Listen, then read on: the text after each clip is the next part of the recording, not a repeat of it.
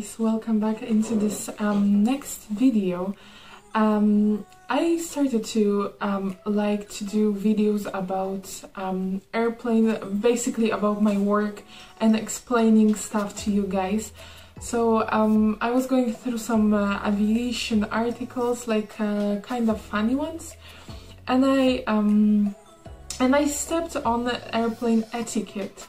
So um, in today's video I'll be telling you um, some of the stuff, um, how to behave as a passenger maybe, uh, how you should behave as a passenger, what you should um, do, what you sh shouldn't do, what you should do. Uh, I know I did a similar video about the um, passengers asking questions. This one will be um, a bit different just because I will be telling you what you shouldn't do, what you are doing probably, uh, but what you shouldn't do. So let's start with the, um, I'll be telling like um, keywords and then explaining um, what you're doing wrong and what I advise you to do instead. So first word we have aisle, which is basically the, uh, you know, aisle, which where you are walking um, through the airplane to sit on your seat basically. Um, so in our airplanes, which is Boeing 737, there is just one main aisle and basically um, we are doing everything there, which is um, doing the service, uh, doing the safety demonstrations uh, and stuff like this. But what passengers are doing wrong or shouldn't they doing, they uh, let their children play um, basically they they sat the children the child down and they are playing in the basically in the aisle um, during the flight which shouldn't be like this. This is not a playing area I know um, especially when we are having those longer flights that it's hard to go uh, like five hours straight with a child. I know that but uh, unfortunately the uh, aisle is not a playing area we are we are when we are doing service the trolleys are passing via there and um, it's very hard when you have even passengers not talking about children uh, uh, only but about passengers as well standing there uh, chatting to each other. If they are seated at different rows they are coming up to each other. Even if they are seeing us passing with the trolley um, uh, they they just stand and stand there and then we just have to constantly excuse me excuse me excuse me and it's sometimes annoying especially when we are busy and we have to go up and down we have to go back to our galley to do some to take some stuff to take ice or something um, and I have this kind of situations very often when I'm very busy uh, and I'm the one, the person uh, who goes to the galley to take some more additional stuffs and people are just standing there or queuing to the toilets, which shouldn't be the case now. Um, but uh, before everything uh, happened in the world, uh, people used to queue and it uh, also was bothering with our service. Maybe with the bigger airplanes like 747 or something like this, there's more more um, than one aisle so then there's more space probably but in our Boeing small Boeing 737 there is not enough aisle so another thing is uh, baggage um, or luggage wherever you prefer um, to call it. Um, there are always uh, issues with the luggage. Always. It's just I don't remember a flight where there's no where there was no um, issue with the luggage. Even right now um, when we are in those unpredictable times and even the passen the the cabin the flight is not full um, I had a um, very recent well last time I was flying was two months ago but kind of recent event where a passenger I don't know if I told you that I, I don't think so passenger um, she was not a native English speaking so uh, just start with that um, and there might be some uh, miscommunication between uh, non-English speakers and stuff like this. So apparently this passenger um, bought an additional luggage was, which was an instrument and it was a piano. Um, I think piano, uh, you know how piano is big and heavy and she said that she bought an additional ticket which means that she can bring it um, as a as a baggage as her luggage and um, we were thinking because piano is a big instrument like people are coming on board with guitar and it's fine or um, cello and stuff like this. This kind of instruments which are possible to to bring in physically. But this piano was so big that she uh, told us that the security people at the security told her that um, they will bring it to the aircraft because it was such a big instrument. And we were thinking how possible that she bought like an extra seat so she can put it on the seat but it was impossible um, so it was miscommunication uh, with the uh, customer service people. Of course, all the blame went on us, but uh, you know, that's not the um, movie about it. Uh, let's uh, discuss the luggage issues. Um, there's uh, always issues, as I said before, and especially at the overwing exits, where the, this luggage should not be present um, during the um, takeoff and during landing. There shouldn't be luggage any luggage at the overwing exits. And as a number three in uh, my company I used to be number three a lot. So I used to stand in the middle of the of an aisle next to the emergency exits to instruct people to not to put their luggages even smallest uh, bags. They all have to go um, to the to the luggage area for takeoff and landing and how many times I was arguing guys. It's it's incredible. Even though it says on the seat that it's it is a legal requirement. It's not my sick requirement in my head. It's just a requirement by a law by the um, European uh, agency from the European flying agency whatever it's called. Uh, so you know so some people don't treat um, I know that airplane means, means holidays, means relax, means fun, but sometimes there are certain rules that I did not make up. Like I was, you know, I went via through a six-week training to learn that. So um, if there's some event happening, you will be able to get off an airplane, you know, um, with, uh, you know, normally without any uh, any bags next to your legs which will make it impossible to get out of the aircraft. So this is you know this is not our imagination making those rules up. It's just the rules written by the European agencies, the legal agencies which make up those rules, which actually make sense because uh, during evacuation, like you wouldn't like to uh, have a bag next to you, like a big luggage, because some people I saw multiple examples of people putting luggage um, at the overwing exit but it's not only overwing exit guys it's also the um, seats. For example you are seated in the middle or by the window and um, next to the aisle the seat next to the aisle you put your luggage. Even backpack no. You cannot put it you have to put it under the seat so in case there is an evacuation you can just freely go go out of the um, of the of the airplane. Sorry guys if you hear any vibrations here, but my phone is going crazy today. And next thing after the luggage situations, we have a call bells situation. You know, call bells, the one where uh, it's just in the panel above your head.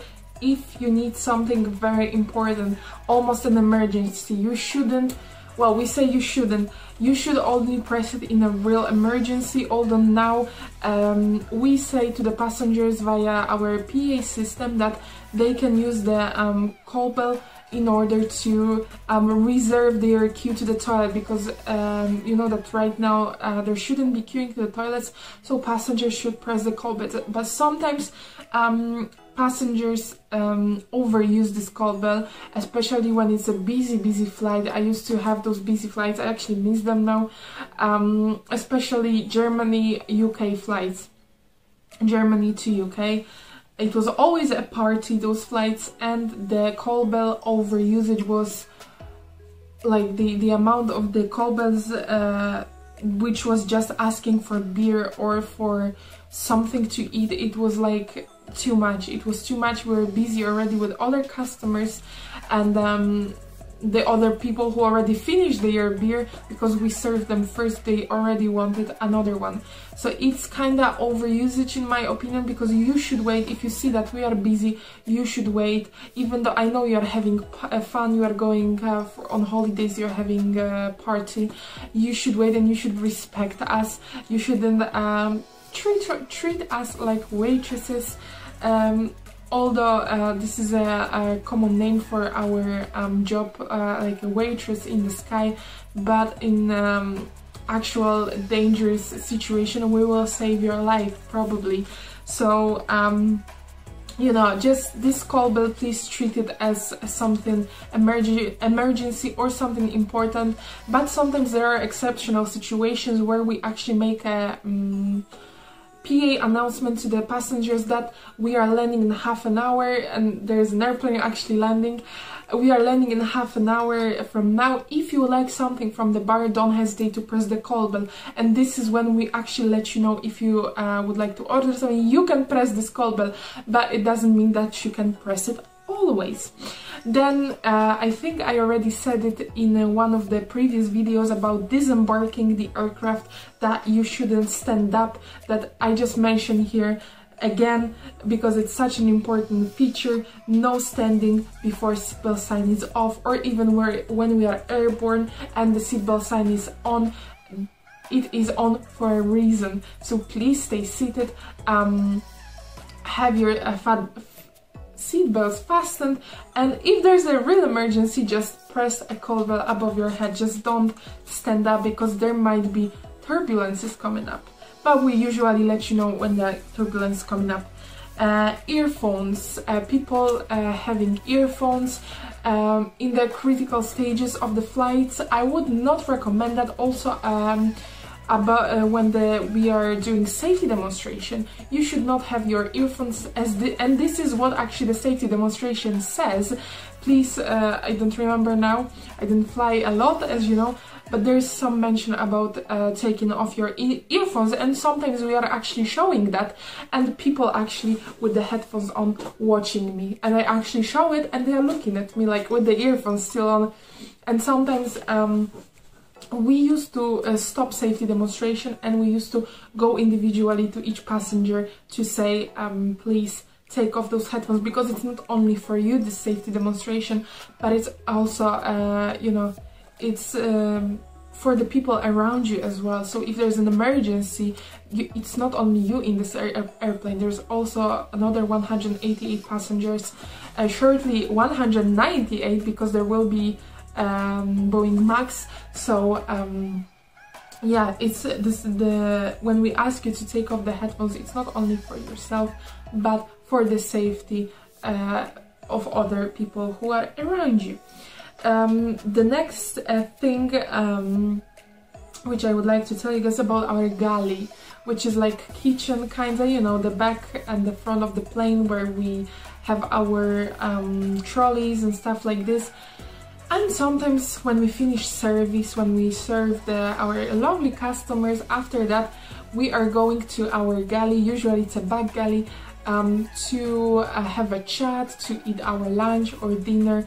And um, the airplane etiquette says when you see that crew is there and seated resting don't come up to us. Unless it's an emergency and you can use your call bell also sometimes it's uh, very um, frustrating. We are in the middle of our lunch and there is a call bell because someone wants another beer. I mean okay we understand that but sometimes it's just irritating. You know guys I'm not telling you that because you cannot do it. I'm just like kind of laughing um, about this um, galley situation. You can you can certainly come up uh, to us and ask for stuff.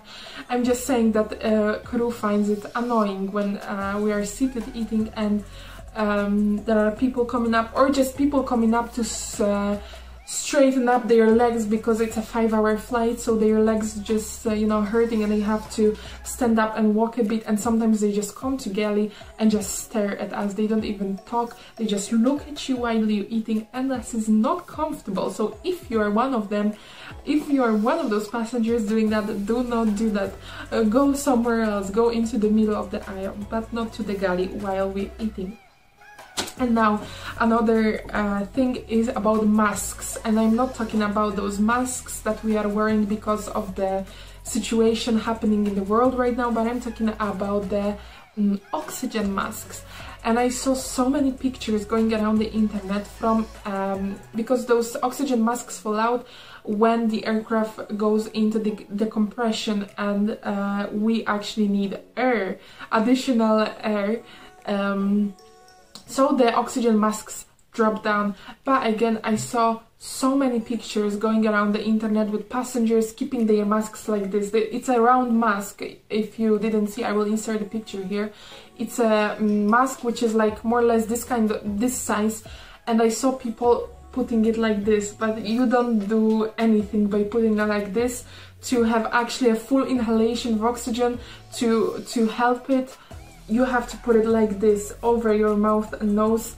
Um, simple because if you put like this it's just uh, I mean it doesn't do anything you have to put it uh, over your uh, nose and mouth to actually have a full inhalation and to actually get a help because I know uh, you will be probably panicking because you would ne you will ne you've never been in this kind of situation uh, and you would probably look around uh, at other people. How do they put it? Some people put like this and you autom automatically go like this. And also you see uh, we are showing it uh, during the safety demonstration. So if you are not paying attention you will probably be the one who will not survive the decompression. Not just kidding but keep it in mind that you know listening to us during the safety demonstration taking off your headphones and looking actually not just uh, because I was here before I was flying 50 times it's not an explanation. And now actually our safety demonstration has changed. So now if you if someone tells me I was flying 50 times or I'm flying more than you then um, you are wrong because sometimes there are changes and actually right now the safety demo has changed for our company. So yeah, just to let you know, sometimes the rules are changing. Another thing is a PA, which is a public announcement uh, when I'm speaking via this phone.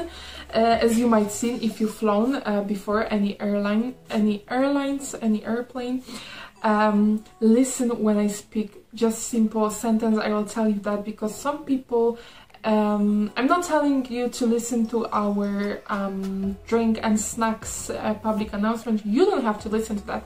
But when I speak you should um, close your mouth basically because it disturbs me. Sometimes I have to focus what I'm saying. Now nowadays we are doing those important uh, public announcements about um, self-isolation and stuff like this. Uh, so it's worth that you will listen to me and do not speak uh, while I'm talking. Sometimes I also, um, after I spoke, there were some call bells and once I received the call bell after my public announcement, um, PA basically, and I went to the seat uh, where the passenger pressed the call bell and they told me, you are too loud and my child is sleeping or you are too loud and I have a headache. Well, what can I say? I was born with this, well, born, maybe not born, but uh, uh, I don't know if you know, guys, maybe not. I'm a singer as well. So, um, singers basically have loud voice because we have to we have to be loud when we are singing basically and I cannot change anything about it basically it's just my voice this is how I trained unfortunately and I cannot um, change it uh, like this is my voice this is the tone i'm speaking and you just have to be fine with that. It's just you know you will be here uh, with me in this airplane for three hours and then we will not probably see each other again. So please respect that and don't comment over tone or how loud am i because it is annoying. I'm just trying to do my job and um yeah just um just it, this kind of uh, comments uh, are not very welcome. So yeah just to let you know. Another thing is standing behind um, a crew. So basically um, when we are doing service for example and it's busy service and you would like to pass to the toilet um, when I'm busy unfortunately sorry you will have to wait because I will not let you pass and uh, standing behind me will not change it because there's been so many situations when passengers stand behind me and just I'm I'm just feeling their breath behind me basically. And they see that I'm actually busy and and my head is somewhere else like I'm trying to serve Pepsi here, water here, here sandwich. So I'm actually not able to let you pass because sometimes in our Boeing 737s we have to go back all the way back or all the way um, forward the plane to let you go to the toilet. So uh, sometimes just please sit down and wait those two, three minutes uh, uh, when I pass and then you will be able to go to the toilet. um, yeah, another thing is uh, about safety demo and about something might have changed in the rules of the company. It's undivided attention. So uh, sometimes we are asking before we start a safety demonstration, may we have your full and undivided attention while we point out some of the safety features on this Boeing 737-800 series aircraft. Now I'll be, I will start uh, telling you all the PAs guys, but that's not the point of this video. So undivided attention, this is what we've spoken before a few minutes ago. Just uh, give us this attention undivided i will underline it here undivided attention just for those few minutes.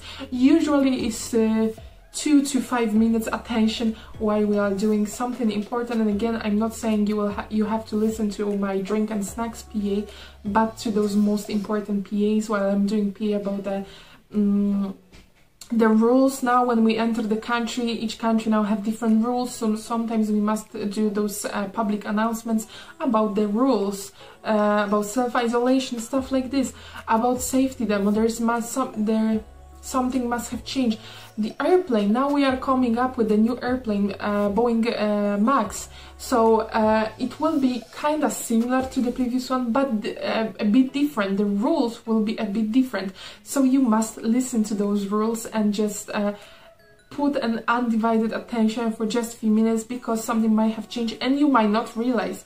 You maybe will not realize that you're flying on Boeing Max and that's the thing that something might have changed even though you've flown 50 times and you told me that and sometimes passengers are so annoying because I'm trying to tell them um, about the emergency exit, how to behave, what to do, what not to do, and they are like uh, actually repeating the words after me, and they are like, I know, I know, but I still have to tell you that because this is the requirement by the agencies, by the legal agencies, I might have some agents seated next to you and not even know, and if I don't say that, I will I might get fired because this is a safety related issue. So please guys just listen. I think this video is about based um, um, on one word listen. Just listen to us follow the rules. It's not that hard. So this guys was the airplane etiquette. I hope you like this airplane etiquette.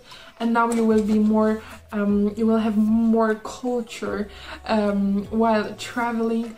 Um, so i hope you enjoyed this video. Please uh, leave like subscribe if you didn't subscribe yet and you can now leave comments finally. So if you like to share anything any any stories from the airplane or any questions please drop them down below and i will see you guys in the next video. Bye guys